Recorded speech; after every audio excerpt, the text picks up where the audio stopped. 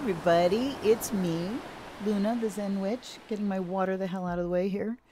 Um, with another unboxing video today, we are looking at another Lucy Cavendish deck, and that one, this one is the Faerytale Oracle. So another of her decks with uh, Jasmine Becket-Griffith, the wonderful artist that does these beautiful stylized big eyes. It says here an enchanted oracle of initiation, mystery, and destiny. And the sides of the box, this is published by Blue Angel and uh, out of Australia. Designed in Australia, printed in China. 2016 is the copyright on this.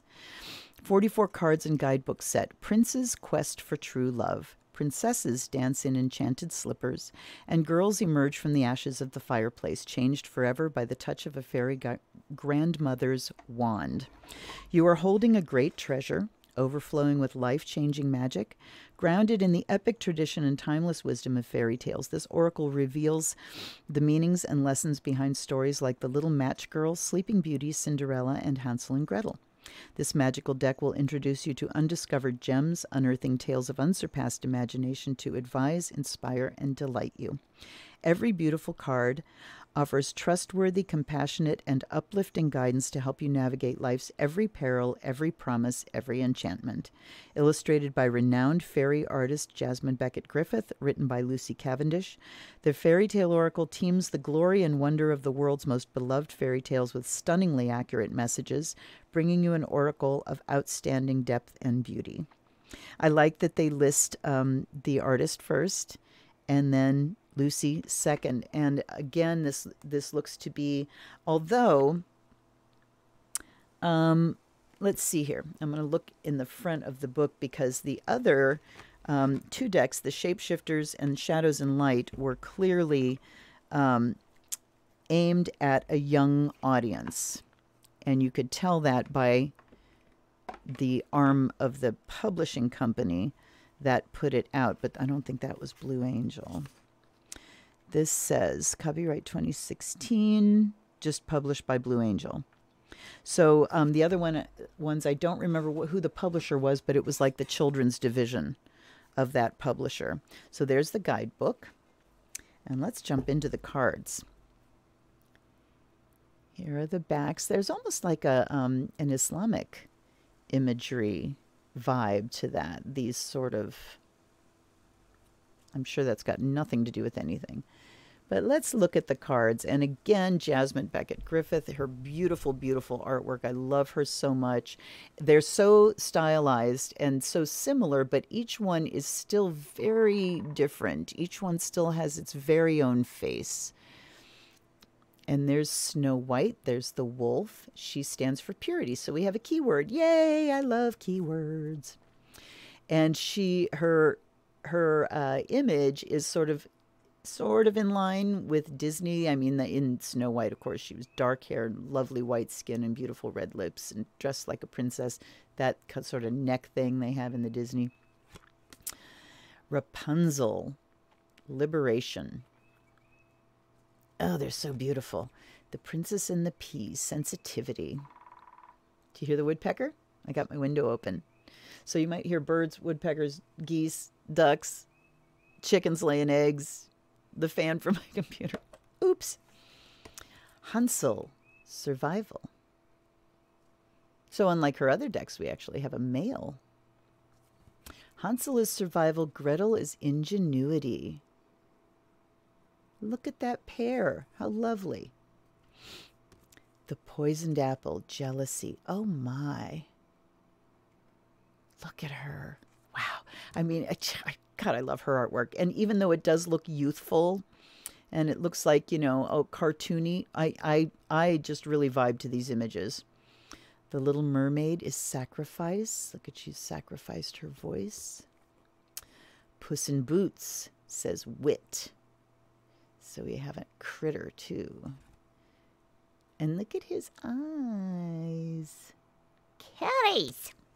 Cinderella is magic. And thank you for spelling magic M A G I C K. Yes, ma'am. Why do we do that? Um, all you witches out there, we do that to differentiate it from stage magic. from magic that is deception and sleight of hand and not the real transformation of energies and manifestation of desires. So here's Cinderella. Look at her pumpkin and holding the watch. Goldilocks, entitlement. Oh my. And what was, yes, magic. Duh. Goldilocks' entitlement. I'll just come in and eat their food and break their chairs and sleep in their beds. I like that a lot. The Tinderbox Soldier, Ambition. I do not know this story. Look at the little pug. The Frog Prince, Intimacy. Thumbelina, Expectations. And some of these, I mean, I'm aware of the Frog Prince, I'm aware of Thumbelina, but I don't really know the story. Red Riding Hood, Rites of Passage, and there's another wolf. So Snow White, interesting that there was that a wolf or was that a dog? Now I'm curious. Looks like a dog. Looks like Snow White's got a doggy friend or a wolf friend. I don't know. But this, Red Riding Hood, is certainly a wolf. She's really gorgeous too. Okay. There's her basket with her. The Goose Girl, Theft, another one that I'm familiar with the title, but not the story. Rumpelstiltskin's Secrets. So she's her secret is Rumpelstiltskin comes at night to spin the straw into gold so she doesn't get killed. Bluebeard, taboos. Vasilisa the Brave, courage. I don't know that story either. Look how beautiful. Oh my God. Rich. The Little Match Girl, choice.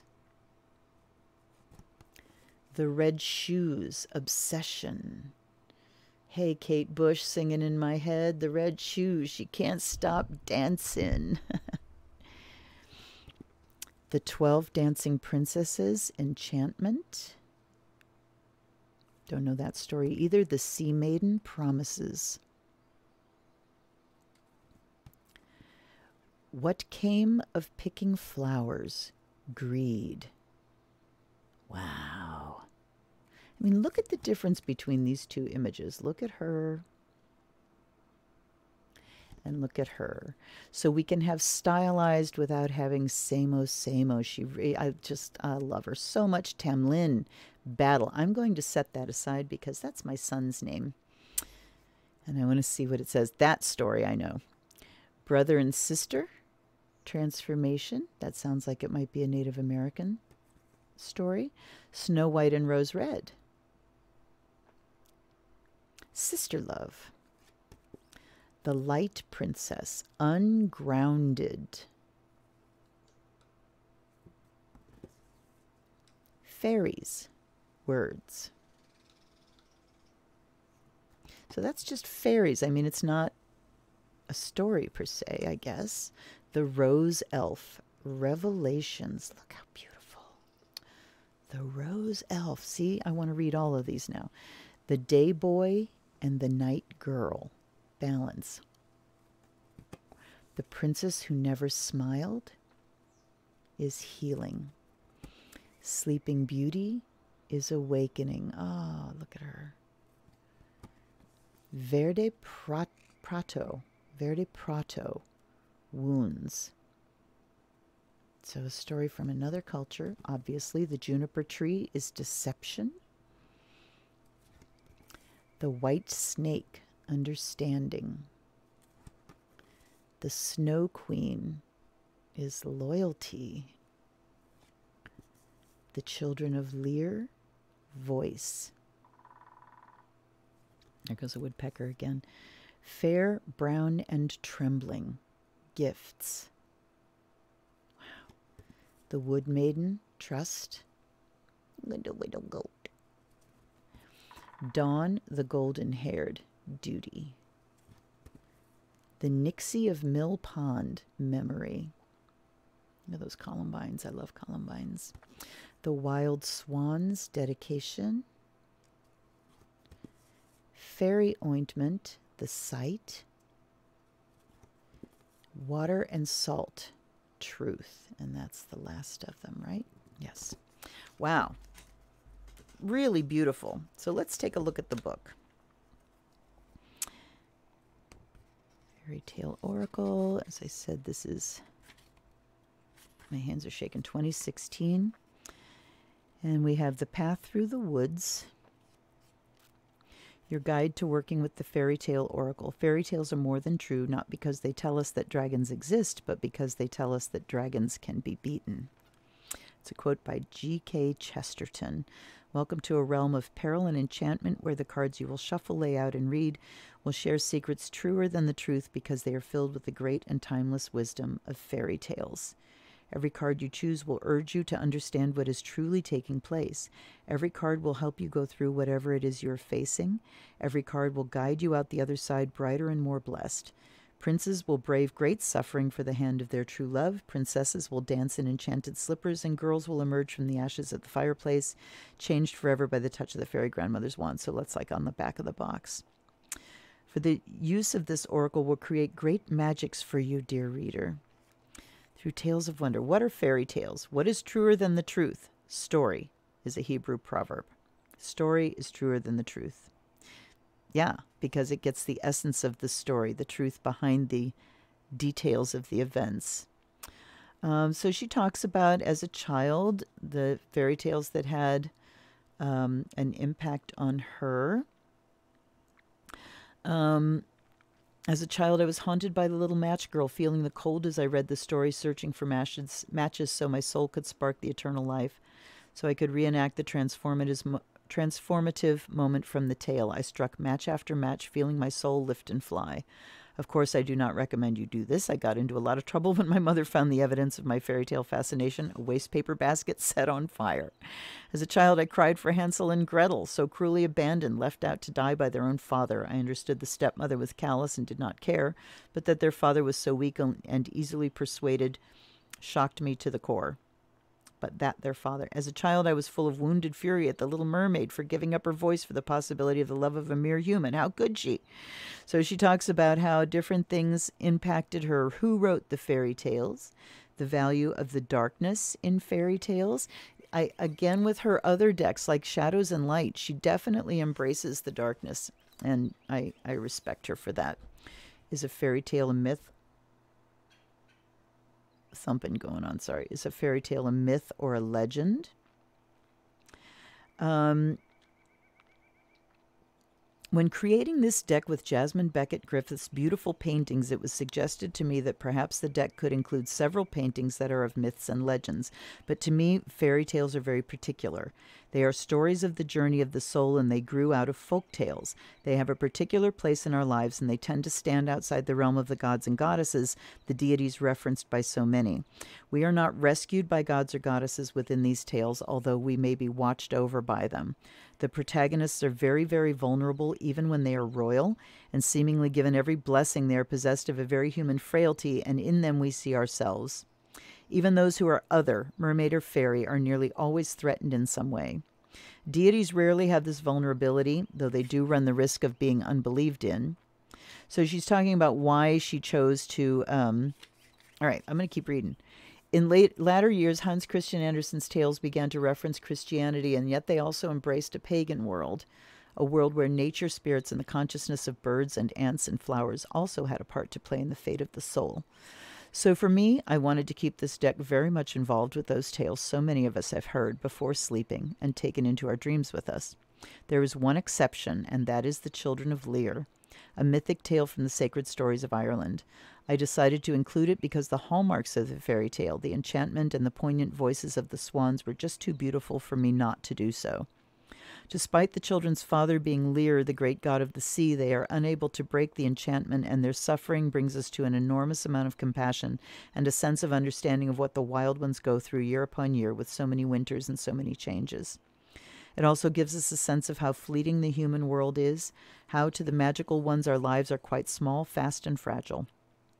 After much soul searching, I chose to include this tale that many Irish children have had told to them at bedtime as a fairy tale, yet which has deeper meanings about the division between the pagan world and that of the Christians. And now I want to read this card. and the story. Although fairies can and often do appear within this deck, this is not to say that a fairy tale must include an actual fairy. It is more that that realm of fate and the realm of fairy, that other world, is the world of the story. I think everyone who's read or heard a fairy tale has has absorbed something very primal, very instinctual and very natural and very magical, even when it has been largely leached of its ferocity. Perhaps, like homeopathic remedies, it only requires a faint trace of the fierce original story, perhaps told only by tale tellers about fires and hearths, or those settling their children at night, wishing for them only to stay abed, to have something of the soul of the story entering into us. It is not foreign to us. It is as if we have been waiting to hear these stories most of our lives. Most good fairy stories are about peril, the very true sense that we will at some time cease to live in the way we do now, and that there are those who would take this life from us. Boy, is that ringing in the middle of a pandemic. After such encounters, when we survive them, we will be rewarded. Life will be sweeter, and we will never take for granted again the beauty of life. That was worth reading. Fairy Tales Initiation and Mystery so, kind of like hero's journey stuff there on the importance of promises and your word in fairy tales. Ooh. Now, I mean, I want to sit and read this whole thing. I just also um, did a review of a tarot deck that has almost a novel in the front of it um, that I talk about being wankery. It didn't draw me in to read it at all, but on this, I am drawn to read. I'm not going to read it right now to you. How to Work with the Faerytale Oracle, Oracle, your guidebook, read it and take it to heart. So, again, Lucy Cavendish shows herself to be very connected to spirit, indeed. How to use your fairy tale oracle cards, the question, how to ask the question, shuffling and cutting, method two, revealing blocks, a note on reversed cards when using the deck. Um, reversed meanings are not provided to, for you. She says, consider the story and its meanings. Think of where you are resisting one of those messages. So if something reverses itself, looking at that's a block, and how are you resisting? Caring for your card's energy. If your cards feel stale or a little different after being handled by other people, take each card. Place the deck in order again. Yes, that is what I've always done with my tarot when I've done lots of bulk readings is put them in order again so they can rest. They're in their original order. Then you can smudge them or take them down to the seaside to bathe in the salt air, which is one of the most effective energy cleansers available. Some people prefer to have two decks, one for other people to handle for readings and one which they only touch. Always ask before touching another person's cards. Yes, good stuff. Caring for your readings, reading area's energy, journal your readings, card reading layouts, one a day. The leaping card, yes, so it talks about a card flying out of the deck. The three times the charm spread past, present, future, the Celtic cross, the happily ever after spread, how nice with a fairy tale deck, 13 moons forecast spread, the fairy cross spread. North tells of your body, the south tells of your intent and motivation, the east tells of your mind's thought patterns creating and shaping, the west tells of your emotions. The center card is the heart of you, the soul stuff you're working with and integrating, transmuting through this issue. That's a beautiful elemental spread asking about individuals. And looky, she did this on Beltane. And I am doing this, I'm recording this a couple days after Beltane. And then there's the card messages. So we get the name of the card, the keyword, and then in italics here, um, as a little, there's a little section of the fairy tale. So let's look at this in terms of Tamlin um, which is the number 24 card. So we get the thing in italics, and then she talks about the themes of the story, and then there's a section for meaning, and we get bullet points. So um, Snow White is purity. The meaning triumph of the pure heart, rejection, rivalry, attack cannot change you. You are trustworthy and loving. Animals are naturally drawn to you. You will have many lifetimes before you die. You will survive great tests. You are good to all. Your kindness will be rewarded. Story attributed to the Brothers Grimm. So she attrib- she gives attributions too. Thank you, Lucy. I love you. I wish you weren't in Australia. I'd love to connect with her. She's just she got it going on. She's a witch. Okay, Tamlin is battle. If my love were an earthly knight, though he's an elfin grey, I would not give my own true love for any lord that ye have. So the story of Tamlin um, is about a young um, man who falls off his horse. He and his father are hunting. He falls off his horse. The fairy queen catches him and takes him into the underworld to dwell with her. And um, maidens go to the forest. I, I could go on for a long time. Maybe I'll just do a video on Tamlin. But maidens go to the forest, and they if they pull a rose, he will appear, and and you have to give him your cloak, or he'll ravish you. And tell me those maidens didn't know and didn't go there with a specific purpose. At any rate, Janet goes and um, meets Tamlin, and he tells her that it is Halloween night, and he tells her his story that he's not a fairy. And actually, she gets pregnant by him but he says that it's it's Halloween night, and on that night the fairy folk are going to ride, and that she can rescue him, and she has to go to him and hold him and wrap him up. And he tells her that he will change form three times and that she she just has to keep a hold of him. So he changes into a bear and he changes into a lion and he changes into a serpent and he changes into a hot coal. So he it's more than three times, but um, when he changes into a hot coal, she throws him into the well, and then he emerges as a human. And um, and then the Queen of Fairy watches this happen, and she says, "If I had known this." I would have put out your eyes and given you eyes of stone. So she's a little pissed off at the end. So it's battle. The meaning face the conflict with courage, hold true and hold fast, loyal, steadfast, true to one's own values. That she, you know, she, Janet fights through her fear and she trusts him and loves him, so she doesn't let go of him when he turns into these beastly forms. Devotion through the hard times, passing a test, rescue and redemption, coming home, honoring yourself, a time of fertile ideas and actions, help from a strong female, and the source is Scottish folk ballad and fairy tale. Lovely. Lovely. And again, it, while she's telling these stories, three times Tamlin changes and three times Janet holds. She sprinkles a circle of earth and blessed water about him and brings him home. The tale of Tamlin is Scottish, and no one creates heroines like the Scots. This may be called Tamlin, but it is Janet's story. It is a story of initiation, change, transformation, and reckoning, and freedom after imprisonment.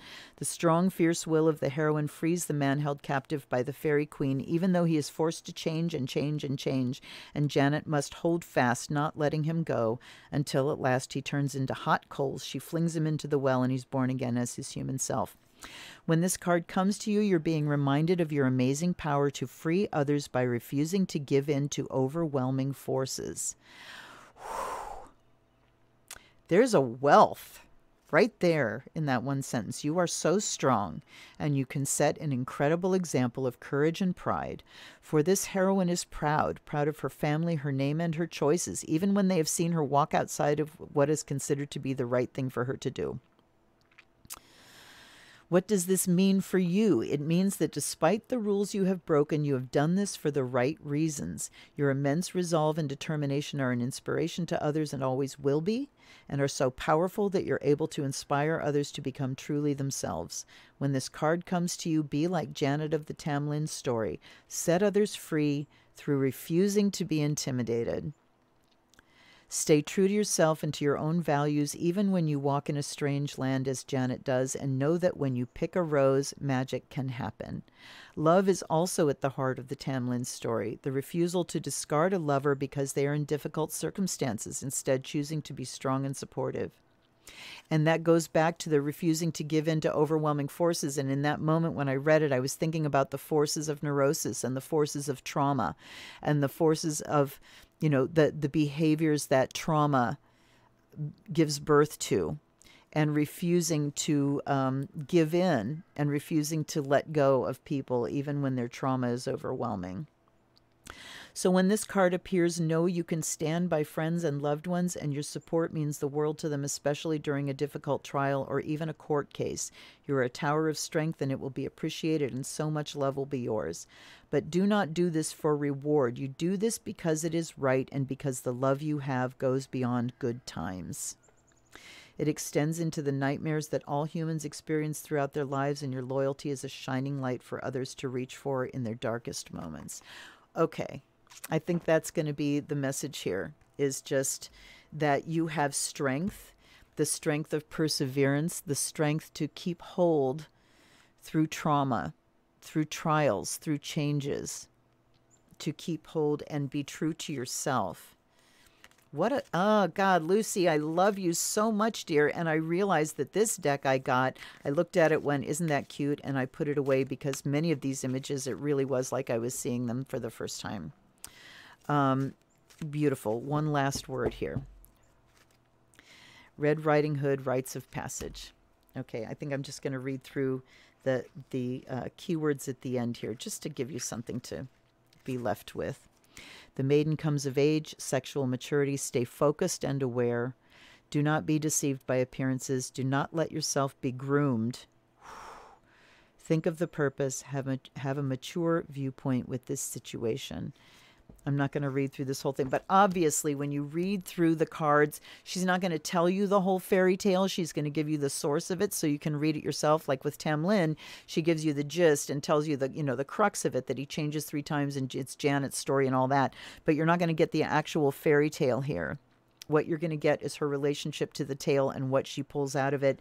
And as ever, she's got her finger on it. This woman is magical. She is a witch. She's a priestess. She's a fairy woman herself. And I highly, highly recommend this one, at least, of her decks. Not all of them are as good, but every single one of them that has been um, the collaboration between Lucy and Jasmine, damn, they're fabulous decks. Just fantastic. So I thank you for being with me and I thank you for liking and subscribing. I especially thank you for donating. There's a donation button down below. Please click that and send me a couple of bucks so I don't have to get a day job. I really do appreciate your support, everyone. Comment down below so we can have a little bit of a dialogue about these things. If you have this deck, let me know what you think of it. I will see you next time. I will see you on Monday with another Tarot unboxing. Until then, Thanks for being with me. This is the Zen Witch. Blessed be.